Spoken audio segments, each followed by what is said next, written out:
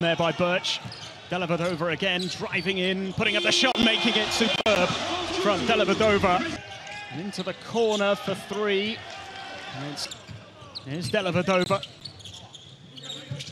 Landale goes for the three and knocks it here as Bogut just floats one up. It doesn't go. Dellavedova. Landale. Dellavedova for three, gets it. A different look in their eyes.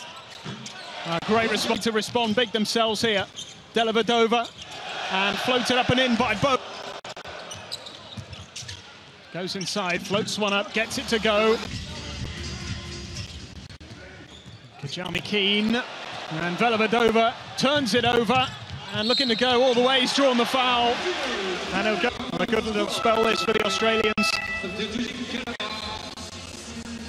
Dellavedova, clever play. It was kind of a smart move by Dellavedova, and anyone who, who has followed Dellavedova during his uh, national team career, or NBA career, he's the weakest team in this pool. We don't know. We haven't really seen them yet. Three-point attempt is good. Ends of the quarter, it is missed for three, and it doesn't go. Dellavedova. Will their big names produce in the big moments? And doing some real damage. Goulding. What a finish from Baynes. Uncharacteristic that from Australia's number 12 as Joseph looks to go alone. And he can't make it count either. Could be nerves on both sides in these close. Canada's number six.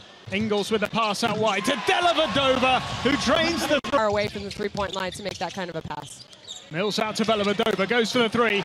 My goodness, he does not miss. Was a, could have been able to drive to the basket, but instead he was trying to get the call from the refs. Tied with the most assists from any Canadian. Oh,